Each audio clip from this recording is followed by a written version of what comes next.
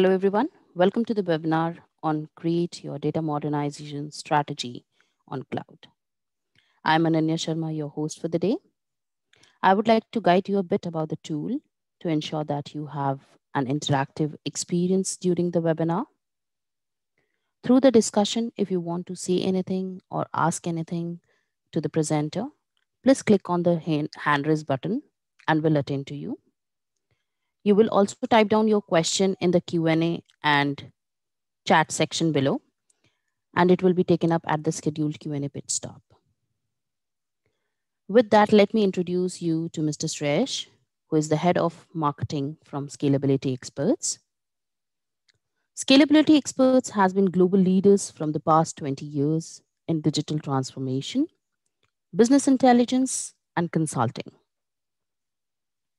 Their deep industry experience and proven award winning methodology helps them deliver the best of their customers, resulting in improved business performance and operational efficiency.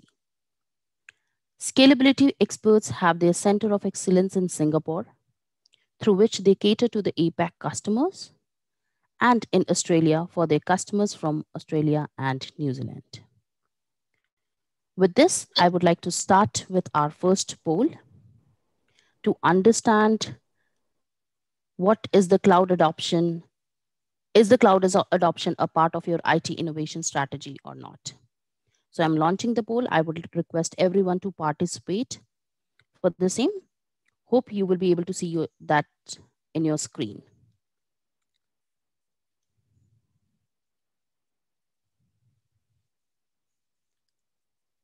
Hope everybody can see that in their screen. Please start voting.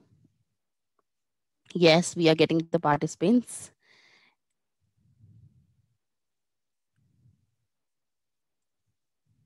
We have good audience, Resh. Yeah, definitely. Yeah, yeah, they're participating a lot. I can see the number of people who are, you know. And it's good to see that um, the answer is yes for everyone. So yeah. Cloud adoption is a part of their IT innovation strategy. So that's great. Right, right, right. The So I'll session is just, going uh, to be extremely helpful for them. right. I'm just putting it for another 10 seconds and then I'll hand over it to you.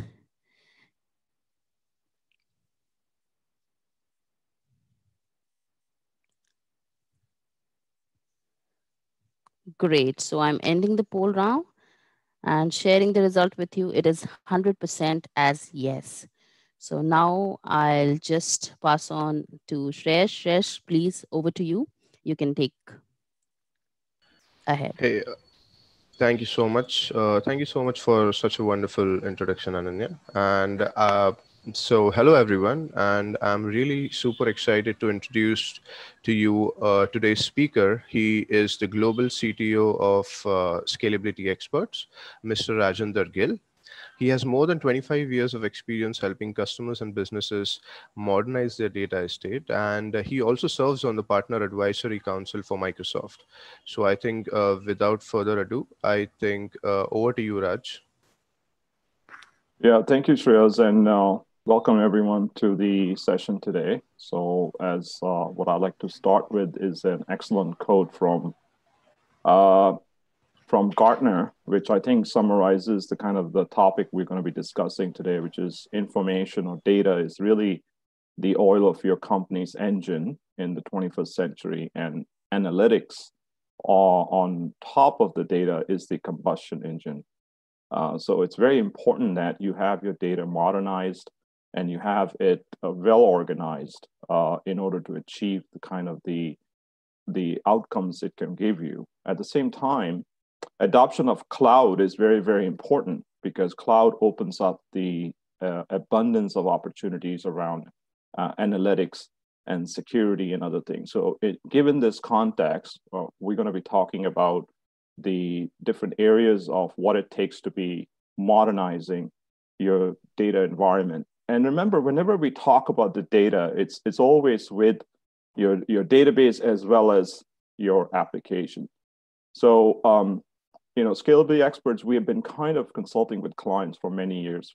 I have been personally involved with some of the top uh, banking, manufacturing, retail, telco companies around the world, uh, helping them build a strategy around the data modernization. So what I'm going to be talking about today is, is what do you need for a good data modernization strategy? And I'm going to be talking from real customer experience, giving you some examples and scenarios on how customers have tackled this problem.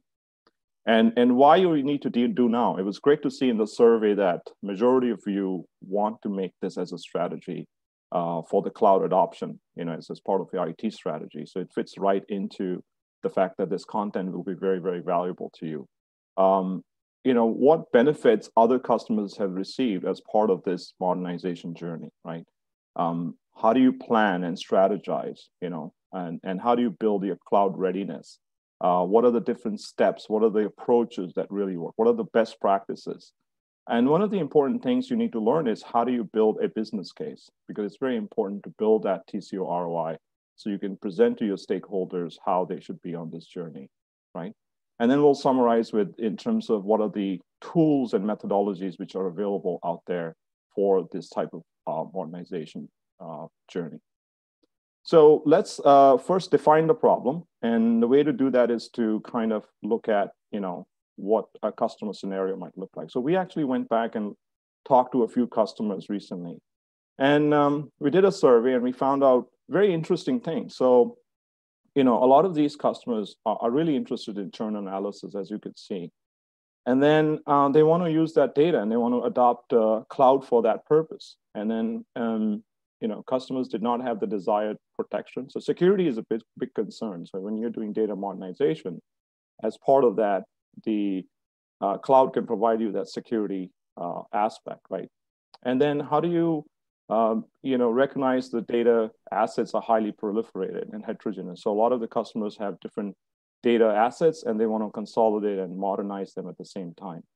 And what are the, um, you know, how do you prioritize the data and application modernization? So a lot of customers felt like that was very important for them and and um, how do you reduce your TCO ROI, and how do you build uh, your your uh, analytics on top of it? So these are some of the results that maybe you can um, you know relate with uh, to some extent.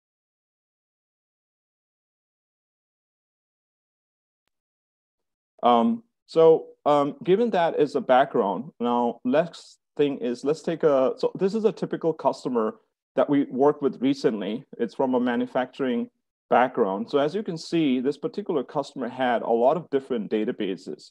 So they approached us and said, hey, look, scalability experts, you know, we have been investing in traditional database environments like SQL Server, Oracle, Sybase. Uh, as you can see, they have DB2 as, as well. And uh, quite a few uh, database environments. So their licensing cost was very, very high. At the same time, managing and maintaining these databases was very expensive. You have to have different skill sets of resources for SQL Server. Um, and the number of databases just keeps, keeps increasing and increasing. So the cost of ownership of this environment was very, very high. So they were interested in a couple of things. The other thing we found in this environment, uh, in their environment, as you can see, is that uh, you have the production environment, which is about 255, uh, and then all of the non-prod environments are quite high. So this is again uh, very common in customer scenarios that they that they have a, a large non-prod environment. So cloud can be a great way. So data modernization journey, if you can just take the uh, non-prod environment and start migrating that, that can start giving you immediate benefits. So number one, they wanted to kind of reduce the cost of ownership. Number two, they wanted to immediately get some of the non-prod into, into cloud so that they could start uh, reducing the data center footprint and, and, and, and improving the cost of ownership. And, and lastly, they also wanted to explore how they can get away from license, uh, very expensive database environments to a more open source environment. So a lot of customers today are looking at open source as a potential uh, to uh, uh you know reduce their cost of ownership around data assets. So these were some of the things that you know we identified for this customer. And this one is from a, a banking and finance customer. So this particular customer had a, had a different problem. They, they came for, for their uh, data modernization from an infrastructure point of view. And uh, because they had lots of VMs. So this is just a, a part of their footprint. They had over 5,000 virtual machines, uh, but this is just a sample of their data. So as you can see, um, you know, uh, they have they have over 10 different varieties of operating system uh, running in their environment, right? So, uh, uh, and this can be very expensive. You know, imagine patching and managing different versions of the operating system. The other thing we found was that when we looked at uh, their their uh, VMs and their applications, uh, we found that uh, there were, you know, out of 141, there are about 30 VMs which were which were powered off, which were not even turned on, right? And which they were considering migrating to cloud and, and, and another 30, 39 were not even used in the last six months. So this gives you about 45% of their VMs were actually uh, not needed to be migrated to Azure or to the cloud. So this is very important. So when you do this type of analysis, you can now understand what you really need to migrate to cloud and what you should avoid. And then again, they also had different flavors of their hypervisor and uh, another aspect that's very important to identify is what type of uh, usage you have. So for example, majority of their VMs were in low usage. Um, some of them are in high and some of them are in medium. So uh, why are these things very important to identify before you start on your data modernization journey or your cloud journey? And the reason is that when you go to cloud, you go from a um, CapEx to an OpEx model. So you go to a pay as you go model. So you really want to make sure that you keep your cost of ownership low. So you want to identify what you really need to migrate versus what you don't need to migrate. And, and we have had customers who have started the um, uh, cloud journey and, and they call us and say, hey, look, we're having a lot of problems. It's really becoming very expensive. So, uh, so having and doing this type of assessment, having this data in your hand uh, beforehand is very, very important. And then I'll talk about kind of the steps and the methodologies and how you how you go about doing. Um, so so those are a couple of uh, customer examples. Um, now, why does uh, you know your company need to modernize to cloud uh, you know today? So so here are some of the trigger points, and some of you may be uh, you know relating to this, um, but I just want to share kind of um, when we look at the customers we have helped over the last few years. What are some of those common uh, common trigger points, right? So uh, you have your uh, some of the customers have data center uh, that they have currently using, and they want to they want to basically renew that uh, the contracts. That may be a good uh, point to start looking at cloud, right? So instead of renewing your data center, you can start looking at migrating to cloud and moving your assets there.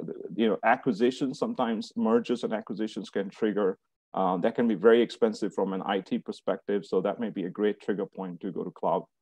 Um, capacity needs. Now, for databases, it's very important, and, and some of you may be able to relate to this. It's, it's very common in databases that you have very high spikes during weekend, month end, or quarter end uh, processing. Um, and it's very difficult to build that capacity on-prem. So cloud is great because you, you, you, you are going to a OpEx model. So you kind of pay as you go. So you only pay for the capacity that you're using.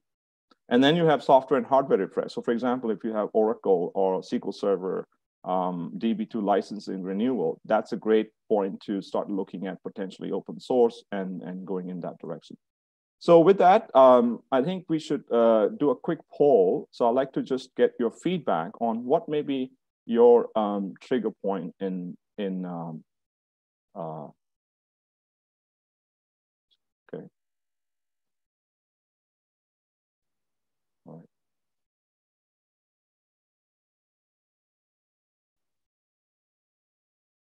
So if you can just poll, um, uh, just give us some feedback on what are your migration blockers that you're seeing. Um, uh, yeah, this poll is anonymous, so feel free to give your feedback in terms of what you're seeing as your organization's uh, blockers from migrating to cloud.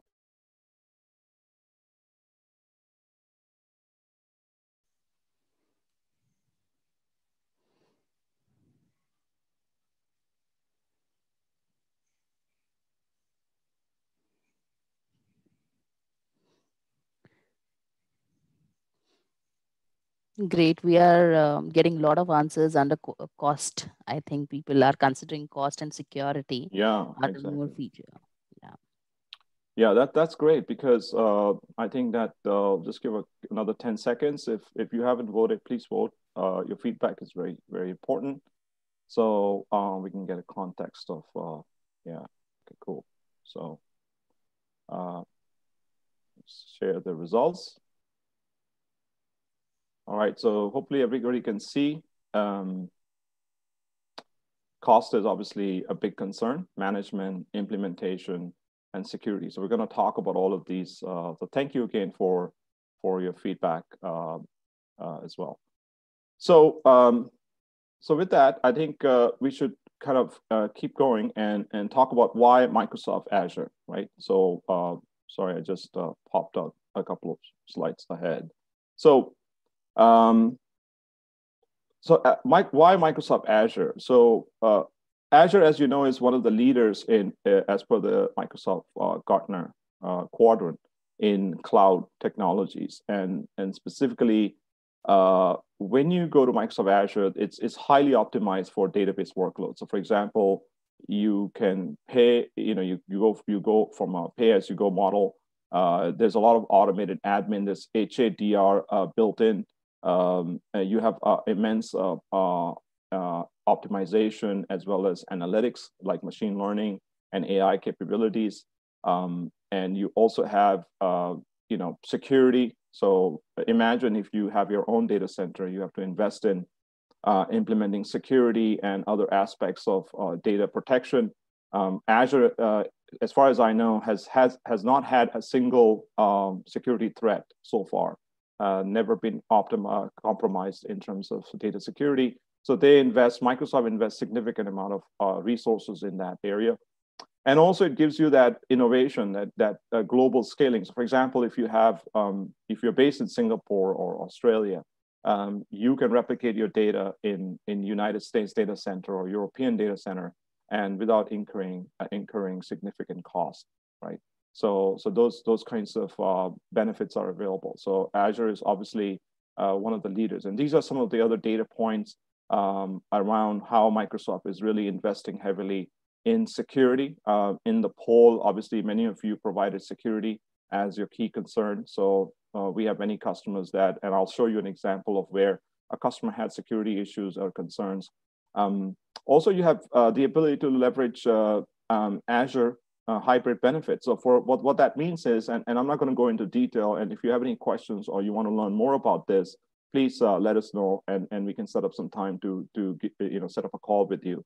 But uh, this is basically where your licensing cost, if you go to Azure, can be cut by 50% uh, on, on databases. Uh, you also have the ability to reserve upfront and pay less. So, so for example, if you, you can go for a three-year pricing and, and or a one-year pricing. So if you go to three-year pricing, the cost can go down by almost 30, 30, 40%.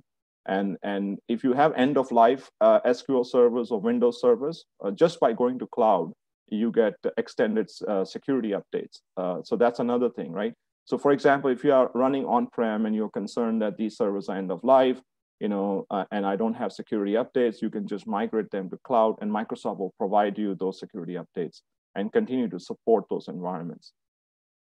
And then obviously, um, great, great uh, ability to uh, innovate and, and the agility to basically um, uh, grow your performance and operations across the board. Now, so so far we you know talked about um, why customers are considering uh, data modernization strategy, the cloud journey, um, and why Microsoft Azure is such a great platform. Now we get into kind of how you plan and strategize your, your database uh, uh, and data modernization strategy, right? So Microsoft uh, actually provides a, a, what we call a, a, a cloud adoption framework, um, and and there is a link after the session that will provide you, which will give you a lot of information on what that means. It's basically a guidance or best practices document. Um, it's not complete, but it covers most of the aspects. The reason I wanted to show this to you is that you can use this as a baseline and then how we have used this baseline to further enhance and bring value to our customers, right? So uh, very simple, uh, you, you, know, you define your strategy. So, so, you know, don't start migrating to cloud just, you know, onesie, twosie or, or, or without having a strategy. You really have to have a strategy. When you migrate your database and application, you really have to get the executive sponsorship and, and, and different stakeholders because there are a lot of different uh, organization that will be involved in the Azure migration, your application owners, your infrastructure, networking, security. So it's very important that you have the, the uh, the the the uh, feedback and involvement from all these on these uh, uh, you know organizations. And then you know you want to make sure that you have the a proper partner engaged with you uh, as well.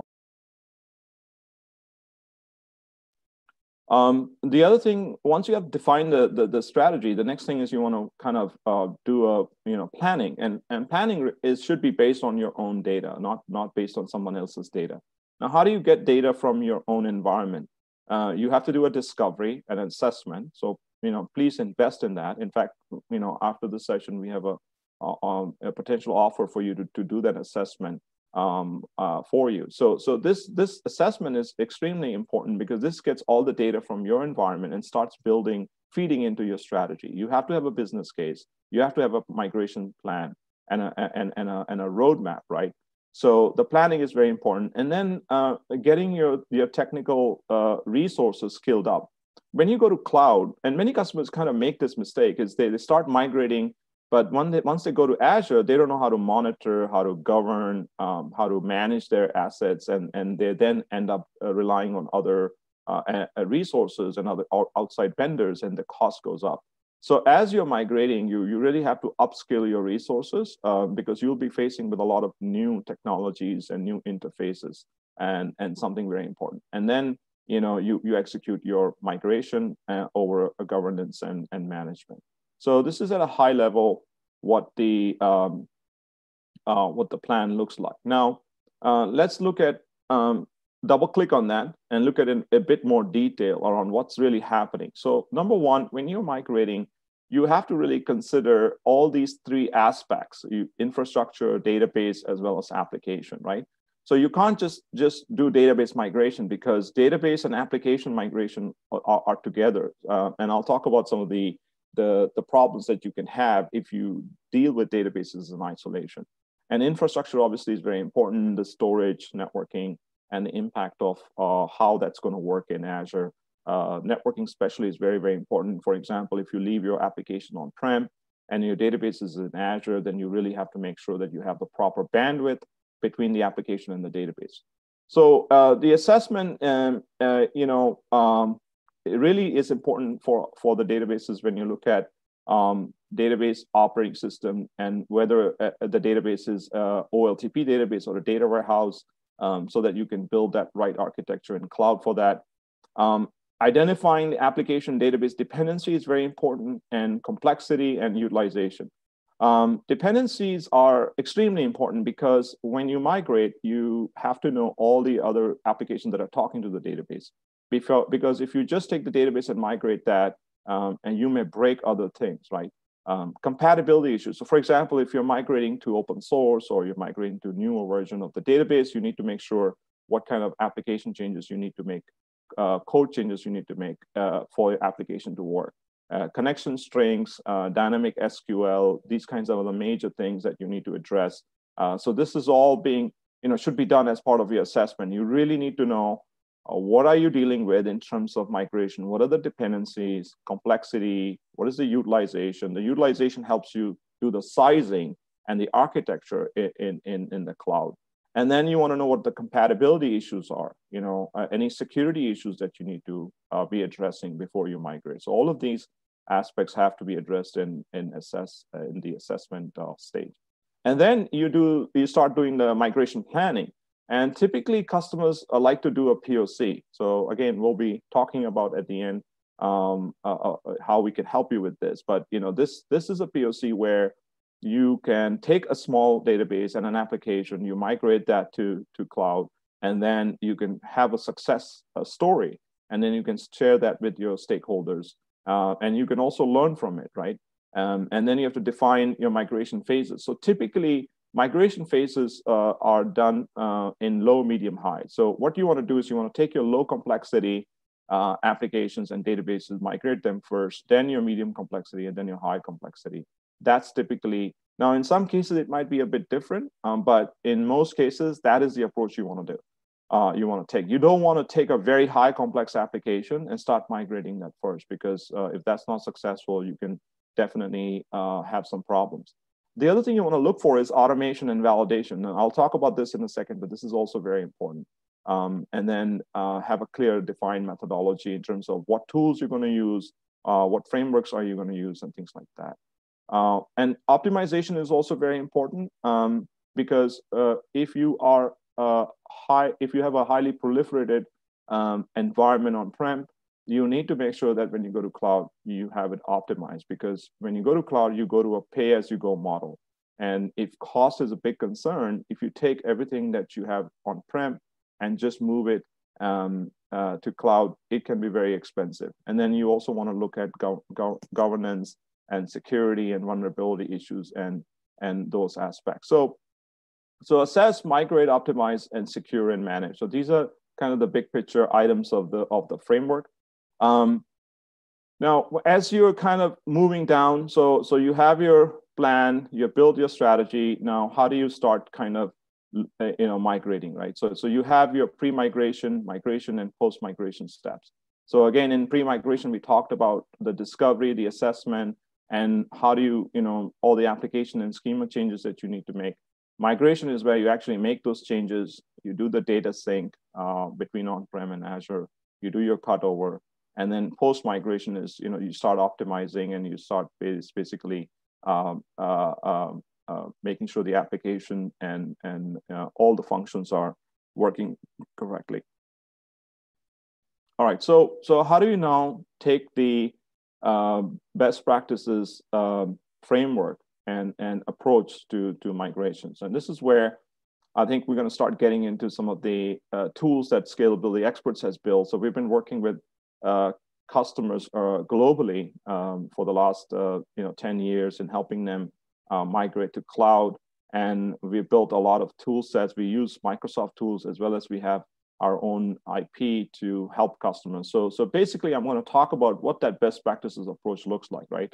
So, so imagine you have your source system. These are your on-prem systems, right? Your different operating systems. You have you have Linux, you have uh, uh, AIX, you have mainframe, you have or Windows. Uh, you have your applications. Applications either could be third-party vendor applications where you don't have the source code, or it could be in-house applications.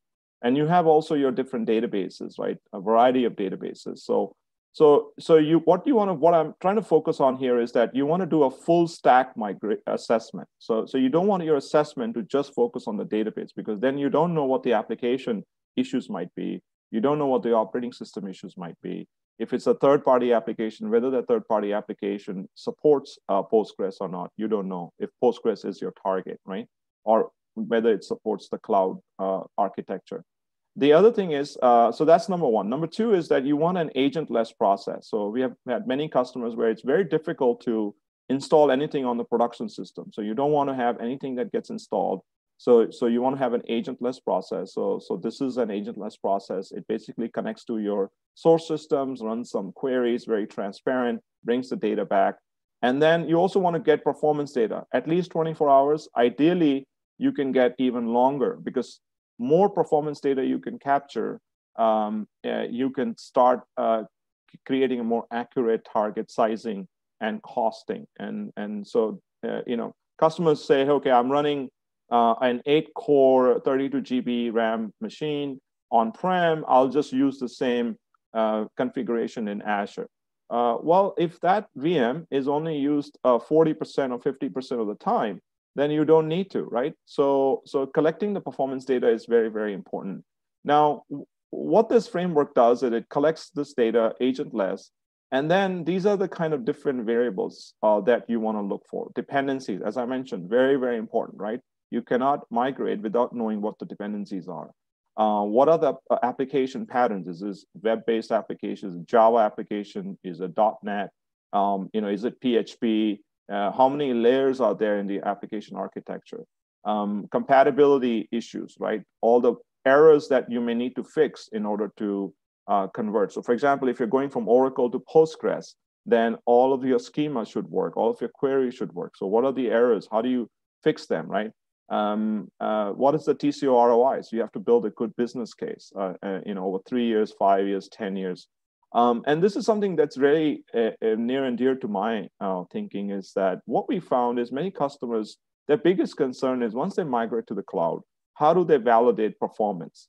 And that's a very tricky thing. And customers can spend months and months trying to validate their application. So the way we do that is you capture uh, user logs, and I'm going to talk about a, a little bit more detail further down. There are some slides on that.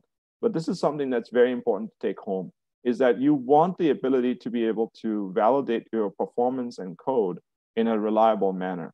And that's where these uh, pre and post migration query traces come in, and, and we'll be discussing that.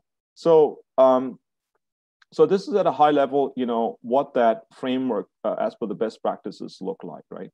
Now let's dive into a customer scenario. So this is a, a retail customer of ours that we worked with recently. And I know there's a lot of information on the on the slide. This is a dashboard that we presented to their executives. Uh, they really loved it. Um, and, and I just want to kind of walk you through uh, what was this scenario, right? So uh, this is a, obviously a Power BI dashboard. So, so you can see that um, the data is being analyzed and being presented. Now we're just looking at SQL Server. Uh, out of all the databases, we're just looking at the SQL Server footprint, right? Um, so there are about 87 servers, um, 134 instances. Uh, they are consuming up 415 cores. So that's the licensing. Now, one of the unique things about this customer was that their databases were huge right? So this we're talking about 50 plus terabytes of data here, right? Um, and and uh, when we looked at the utilization, we identified that they could have 42% improvement once they go to Azure. So they're, they're, they're on an average, their SQL servers were about 58% utilized. So it's almost half of utilization. So imagine if this customer took the approach of migrating everything as is, they would be paying twice as much for the environment in Azure than they typically would. So, so just by doing that thorough performance uh, and utilization study, we were able to identify the cost savings for those for those uh, uh, servers to, to reduce. The other thing is that this customer was very interested in making sure that if there are any security issues or fixes they need to uh, do upfront, that we identify them and we we implement them. So we um, actually were able to identify those securities. So here you see the utilization breakdown. Here's the complexity of migrating each of the, so it's a very nicely presented information. So you know exactly what your utilization is for the servers. You know which service uh, you need to fix uh, from a security aspect. So for example, these 28 instances where, which has some high security vulnerabilities that were identified, you probably don't want to migrate this to Azure unless and until you have fix these issues, right? So um, because these vulnerabilities uh, were application and database specific, not infrastructure specific. Um, and then you also know how many of them are low complexity and, and high and medium so that you can plan which ones you're going to migrate first and so on.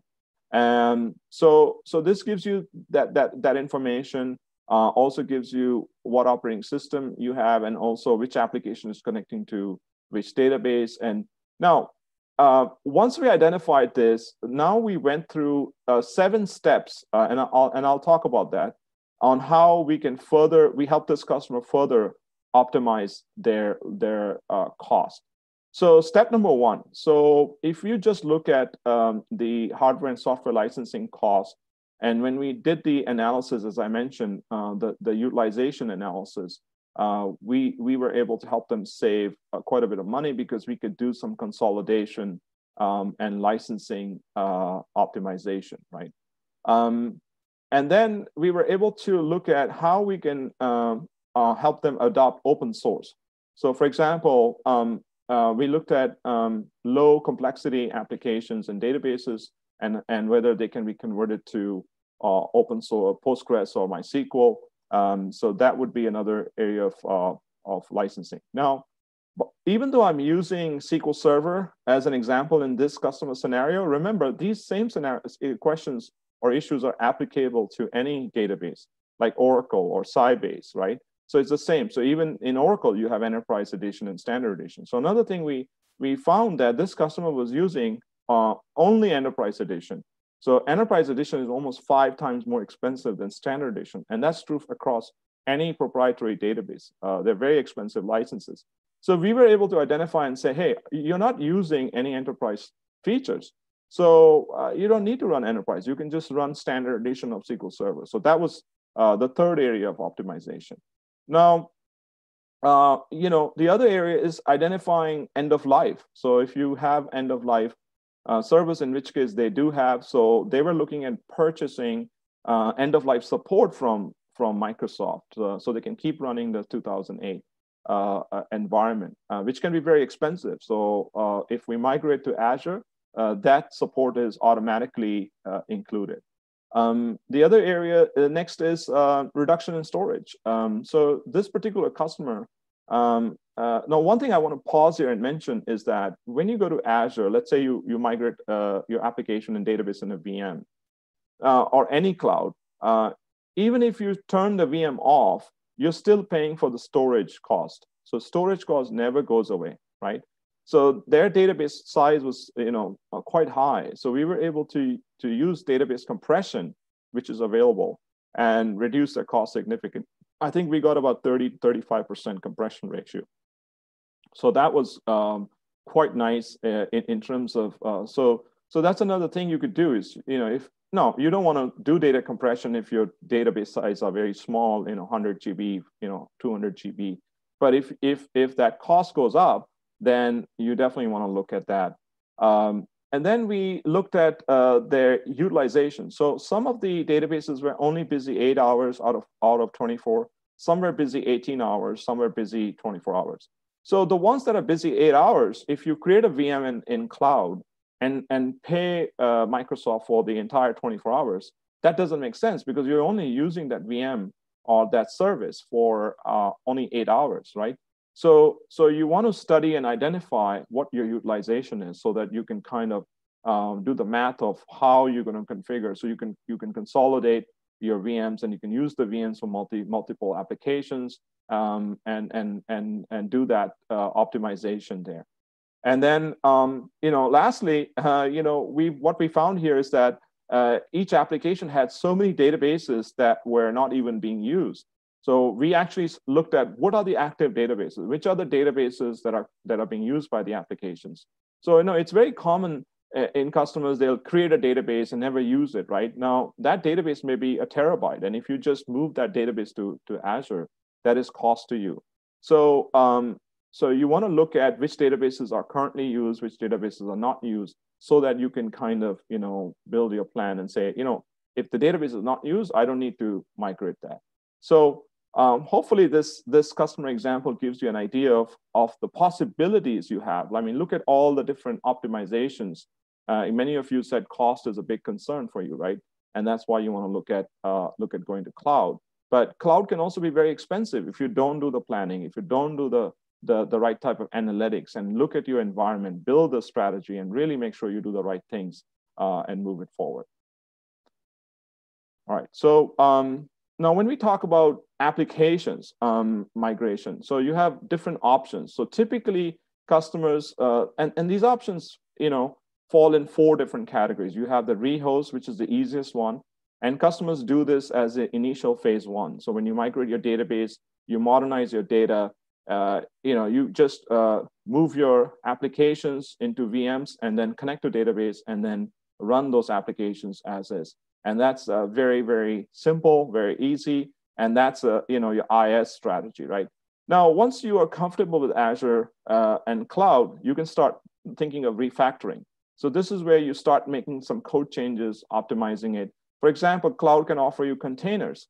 Um, and con containers are great. Um, and that's why you need to know, but not all applications use contain can use containers. So, so you have to really know whether the application is modern enough and, and what supportability it has in Azure for containers. So that's, and then you can start doing re-architecting and rebuilding. This is a little bit more involved and um, might involve some more code changes, but th these are the possibilities that starts opening up. So you can see how just the fact that you go to cloud um, starts opening up all these possibilities for you to modernize your data and your applications. So for example, by re-architecting and rebuilding, you can start really true using the PaaS services like serverless technologies like microservices, right? Uh, and these are great in further optimizing your application environment and also your um, um, uh, cost. So um, here's a customer example uh, from a telecom uh, customer, uh, you know, that we recently worked with.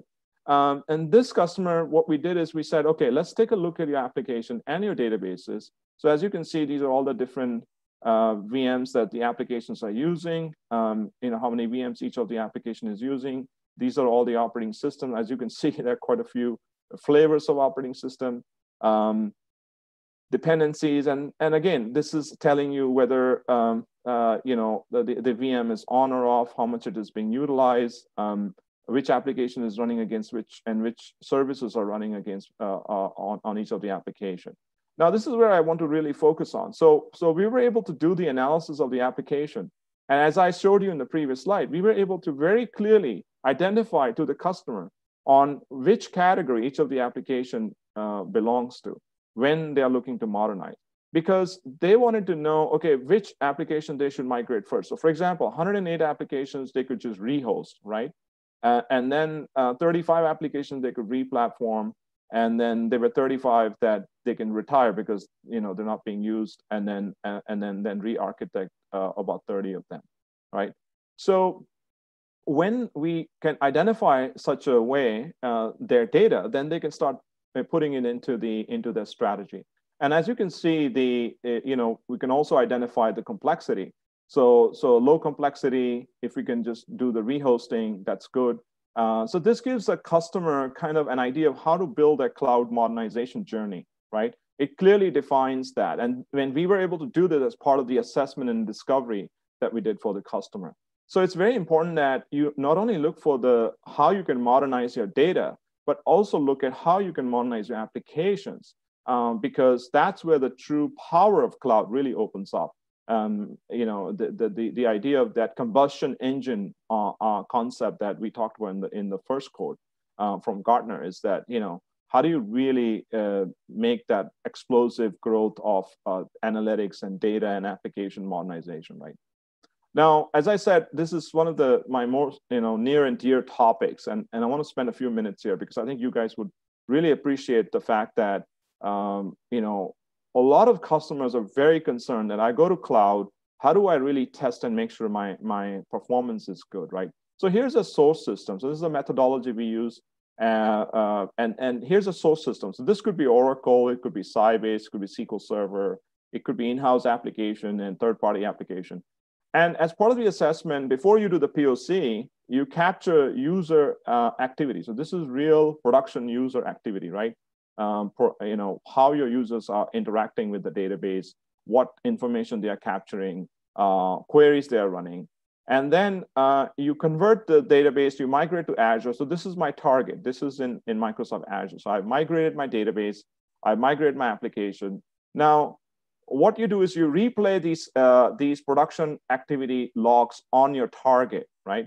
And when you replay them, number one, you find out, hey, is it really working properly? Number two, you know, uh, what does the performance look like? So if there is any query or application function that is running slow, you can then say, hey, is it because of storage or, or compute? Is it networking? What is it, right?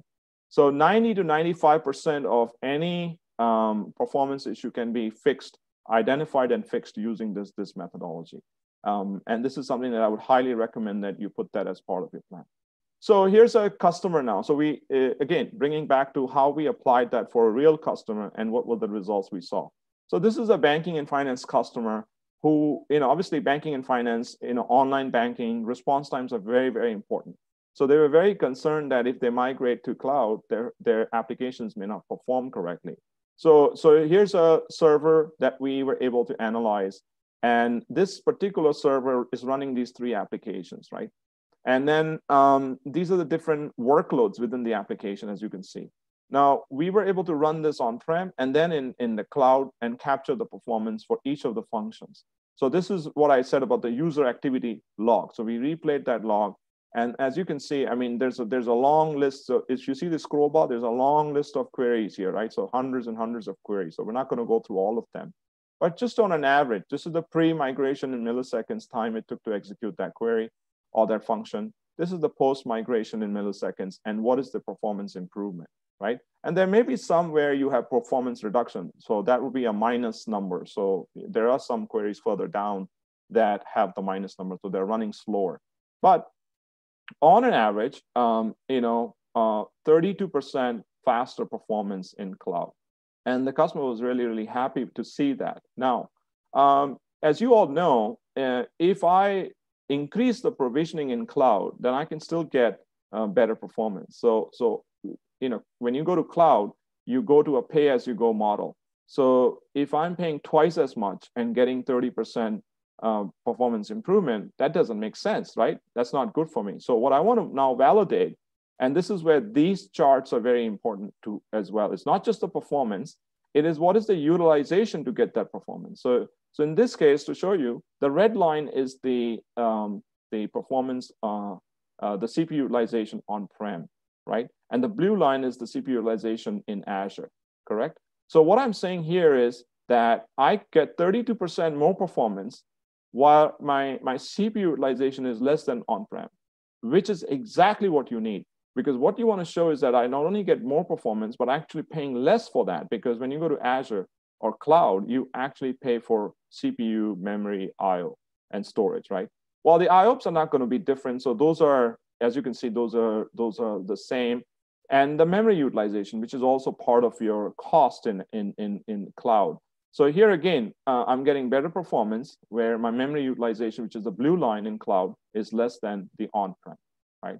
So in one dashboard, we were able to show the customer that, hey, uh, you know, uh, we, we not only got you converted to Azure, but when you ran uh, the, the real production workloads, we were able to kind of show that um, that comparison to them. And, and that's something that I, I think that's, that's very important. Now, let's take this one step further, right? So let's say you have a mission critical application um, and you want to um, you know, run this, and this is going to be very common, migrate it, run it in cloud. Now, what you don't want to do is uh, take the risk of just migrating it and then um, hoping everything works correctly. So this is common for like mission critical application 24 by 7. So in that case, what you use the concept of is, um, is commercial trial. So basically what we do is we take the logs and we ship them to, to, uh, to Azure also, we do data replication, right? So, so that way the data from on-prem is replicated real time to, to, to cloud. And then uh, you keep running both the systems, um, you know, live. So, so this is your uh, production um, system, which is on-prem, right? Uh, but you're you're also running with uh, you know 10 minute intervals, 15 minute intervals, or or one day intervals. All the queries on Azure as well. So you can validate every day whether those queries are running correctly, the performance is good. You can keep doing this for several weeks, several months. We had one customer that ran both systems uh, live for almost uh, three months because they really wanted to make sure that everything is, is, is working correctly. And then once you're happy and satisfied, you decommission the on-prem system, right? And then you make the, uh, the, uh, the production as your uh, Azure. Okay, so so this is uh, something that customers are really starting to adopt, and and it's a great way to to reduce your risk, right? Because you are having both systems run live, uh, one on on-prem, one in Azure, and only when you're satisfied over a number of weeks, number of days, number of months, you turn off your on-prem, point your applications uh, to to uh, to Azure, and then you start making that as your production. So this can reduce your risk quite significantly in terms of uh, the, uh, the, the migration strategy. Okay, so I think we're just uh, about time. So I'll just go to my last slide and then we'll open up for Q&A. So in conclusion, um, many of you, majority of you said cost was a big concern, right? Um, you want to have a methodology, you want to have a framework, you want to be able to do this right. Uh, security is a concern. So when you're looking at your cloud journey, I would say, you know, from what we have seen other customers uh, approach it, um, definitely look at open source. So, uh, you know, if you haven't looked at open source like Postgres, MySQL, I would highly, highly uh, encourage you to look at those. Uh, Microsoft Azure has full support for open source, MariaDB, Cosmos DB, and you can really reduce your cost of ownership and open up a lot of possibilities of, of for data modernization. Um, you, you should look for containerized uh, uh, technologies as well. Um, look at your optimization of queries. So if you have a badly behaving application or poorly performing application, don't just take it and move it to Azure because guess what? It's going to end up costing you a lot of money. And we have had customers who had to roll back. They actually migrated that application back on-prem because it was every month the bill was coming really, really high. So you want to do some optimization. You want to make sure that you use data compression. You, you, you want to make sure that you have consolidation. So do your optimization before, or at least think about how you would optimize that, which ones you should migrate, which ones you should not migrate, right?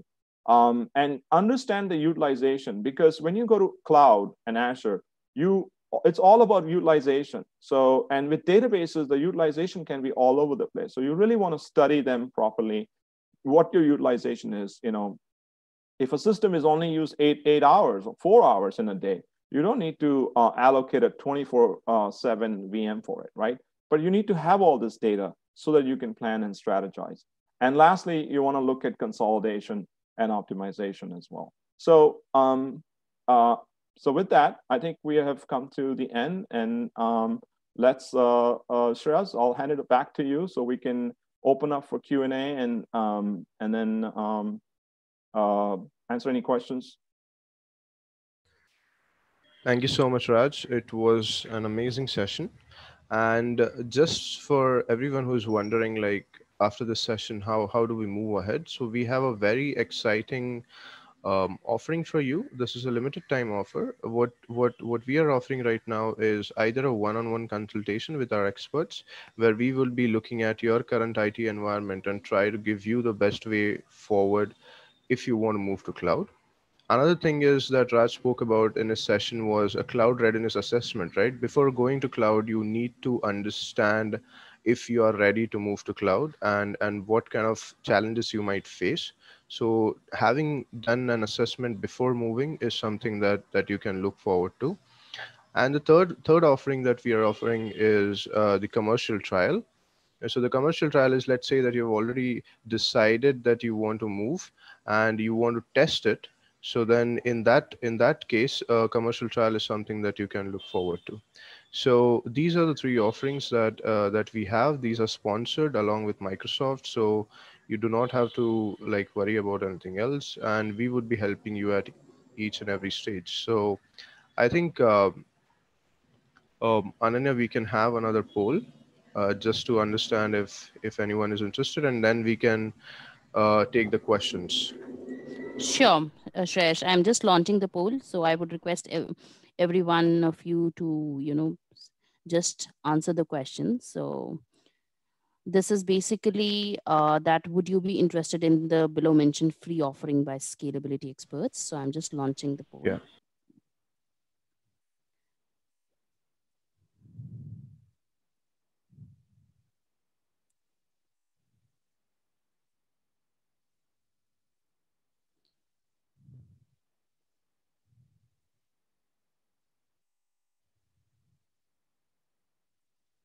Okay, we are start we have started getting responses now.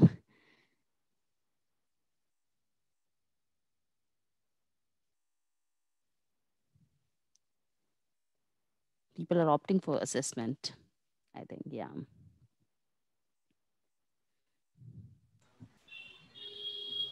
Yeah, I think assessment is always a vital part before you move to cloud. Right, right. right. You need to know uh, what all is going on in your current system True. and then move ahead. Okay, another five seconds more. So it's a clear cut win. Cloud readiness assessment is the first choice. Awesome. Awesome. Um, so I think quickly I'll just uh, uh, so I will just request everyone if they have any questions, uh, please put them in the Q&A session. I'll take the first question. Uh, so the first question is, uh, the person is asking, Anish Sood is asking, we are currently using Oracle and would like to know the options of using open source on Azure. Yeah, that, that's a great question. So many of the customers that we work with who have Oracle are looking for open source because, and and and yes, uh, so if you're looking to migrate from Oracle, Postgres is your best option because Postgres uh, originates from, uh, there are a lot of ex-Oracle people who started uh, Postgres. From a code compatibility point of view, there's a lot of commonality. However, there are, you know, depending on what you're using in Oracle, RAC versus Exadata versus other flavors of Oracle, we have to really look at what features, you know, any enterprise features that you're using, whether they, they, they are supported in Postgres and whether, you know, how they would work. Uh, after Postgres, uh, MySQL is the next best option. Um, and then if you have enterprise feature issues uh, that are not supported by open source, then you can start looking at SQL Server as well. So absolutely. So as part of the assessment offer that is being presented, we can help you look at your Oracle footprint and understand how you would migrate that. What would be the cost of running that in, in, in the cloud? and which ones you can migrate, which ones you cannot migrate, what the complexity is, all those things that I, I talked about today that are important. Okay, I hope that answers your question, Anish. If you have any follow-up question, you can definitely ask us. Uh, so Mr. Khan is asking, uh, they're currently using enterprise version of SQL and would want to know if there are any cost savings uh, by using a standard version.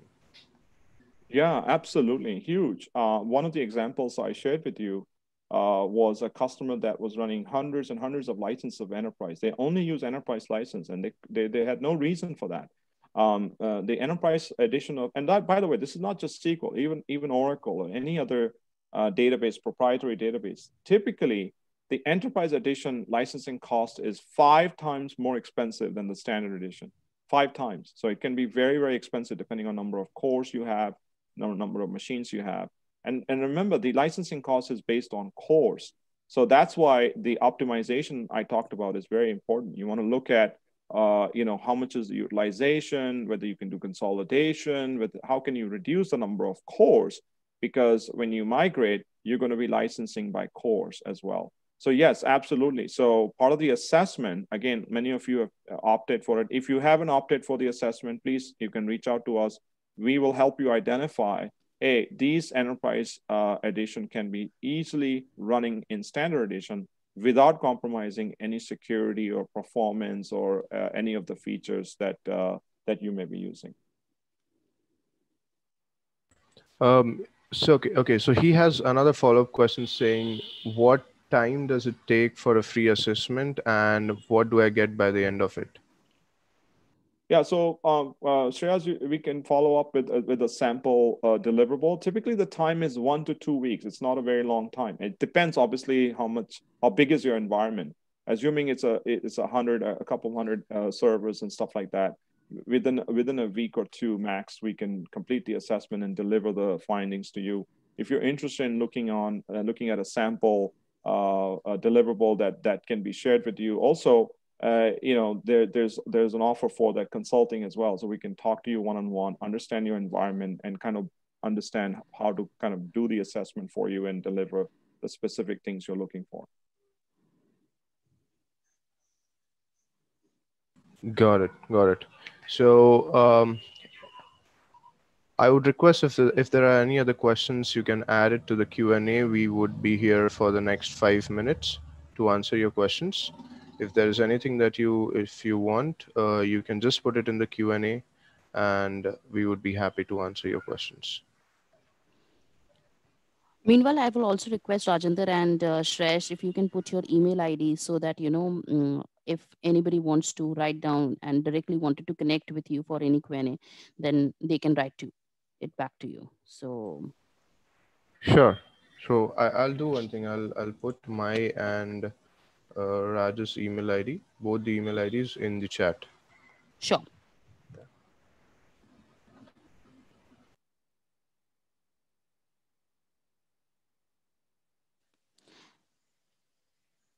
So the floor is open now. Anybody would like to ask any other question, we can take that up.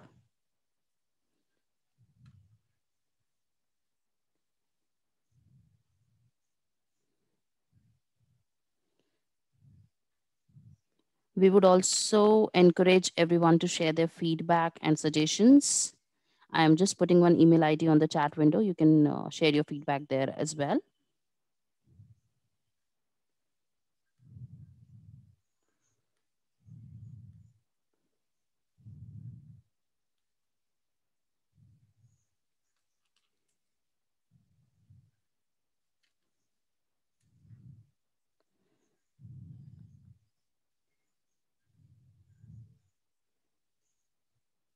And by the way, if, if uh, I can share, we have an upcoming uh, webinar on uh, open source. So uh, if you're interested in that, somebody asked a question about Oracle. So there is one that's coming up. So if you're interested in learning how to migrate to open source and why you should look at that, um, please contact Shreyas. Uh, he's put his email there and uh, we can send you the invite um, and you can take part in that as well.